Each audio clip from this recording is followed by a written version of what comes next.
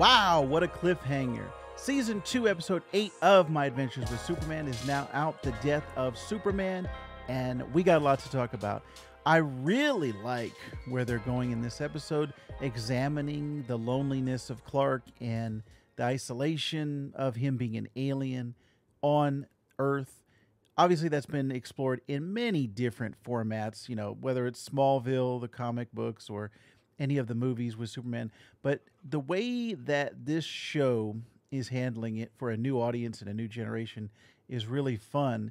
And I really like Jack Quaid's performance as Superman. I, I think I talked about it in a previous episode. His vulnerability as both Clark and as Kal-El has been fantastic. And now it's to the point where I was reading the comic book for My Adventures with Superman. They've got two issues out right now, but I heard Jack Quaid's voice in my head. So that is definitely a, a compliment. Just like with Kevin Conroy as Batman, it's something that, you know, you hearing their voice in your head is something that endears you to the character and to the actor that's playing them.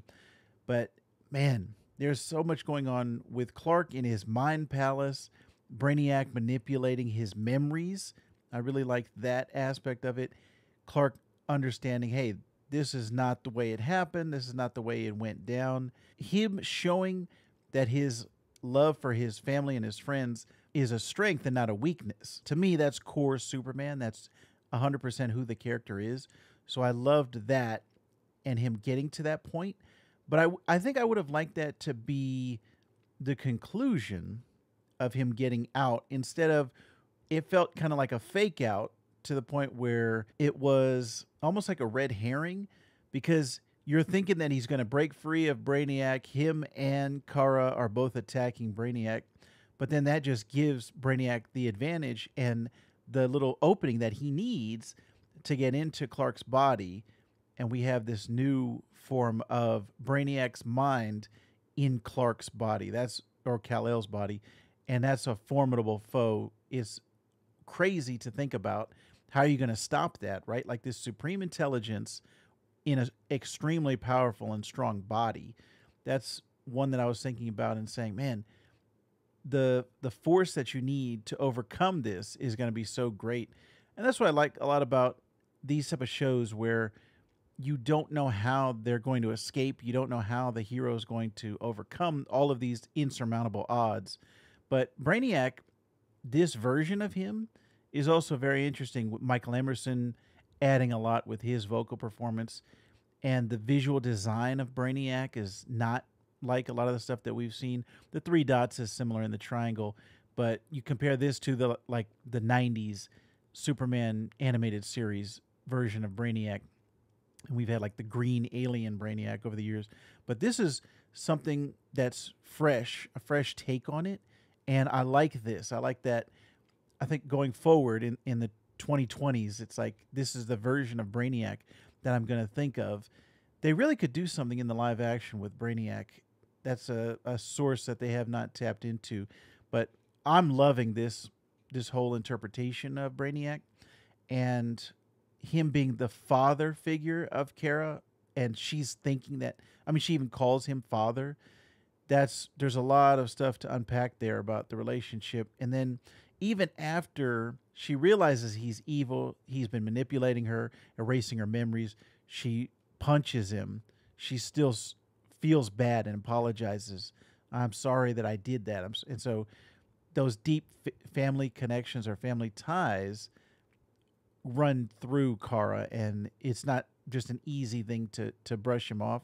So I like that. I like that emotional depth and weight to it, and it's not like a an easy thing to do would be just to make it like for a Saturday morning cartoon, and the villains are all one note, black and white. There's no depth to them, no emotion, and then the characters, the the other characters themselves have no weight or emotion to them. But this one with Kara, like I said, she's got these these years of trauma with Brainiac and thinking he's a good guy. Now all of a sudden she has to, re, you know, change that in her mind and deal with that, reconcile with that. So that's a lot of interesting stuff that's going on there.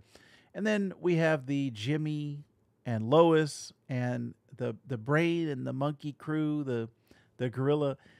I like their kind of comic timing and the, and the sidekicks of nature of them, but it's really interesting the way that they kind of twist this whole storyline and say, okay, we think Lois breaking up with Clark is going to be what leads him down this path of like, man, he feels so lonely and so vulnerable.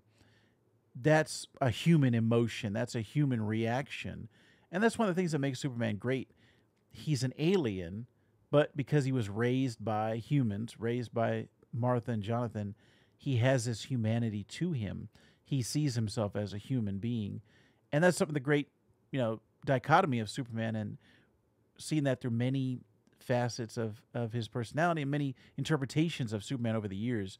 So I love all of that stuff. Being a Superman fan, it just brings it home for me. And with a fresh coat of paint on it. Like I said, this is a new version of Superman for this new generation. Like um, people who are into manga and anime, this is your version of Superman. I'm glad that they're adding this to the canon. And I'll be able to put it up there with Superman the Animated Series, with Justice League, and a lot of the other great Superman things over the years. So I'm having a great time with my adventures with Superman. I'm interested and curious if you're having a great time with this show.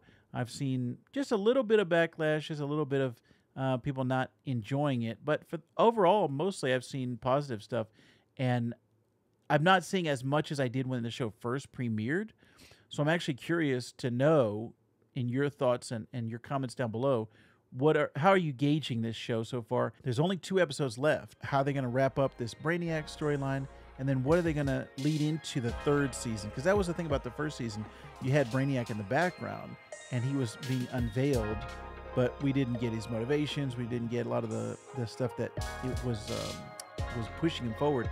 And now in this season what's going to go into season three so I'm very curious. I'm having a great time on my adventures with Superman. I hope you are as well. I also hope that you're enjoying this comic cooks. We're going to be trying to bring more comic stuff to your table, to your plate.